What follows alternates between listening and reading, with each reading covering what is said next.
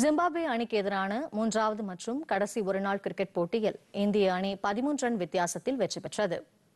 Zimbabwe தலைநகர் ஹராரேயில் நேற்று நடைபெற்ற போட்டியில் டாஸ் வென்ற இந்திய அணி பேட்டிங்கை தேர்வு செய்தது. முதலில் களமிறங்கிய இந்தியா ஐம்பது ஓவர்களில் எட்டு விக்கெட் இழப்பிற்கு இருநூற்று எண்பத்து ஒன்பது ரன் எடுத்தது. இந்தியா தரப்பில் அதிகபட்சமாக சுப்மன் கில் தொன்னூற்றி ஏழு பந்துகளில் நூற்று முப்பது ரன்களை குவித்தார். இஷான் கிஷன் அரை சதம் அடித்தார். இதைத் தொடர்ந்து இருநூற்று தொண்ணூறு ரன் எடுத்தால் வெற்றி என்ற இலக்கை நோக்கி களமிறங்கிய ஜிம்பாப்வே அணி நாற்பத்தி ஒன்பது ஓவரில் அனைத்து விக்கெட்டையும் இழந்து இருநூற்று எழுபத்து ஆறு ரன் மட்டுமே எடுத்தது.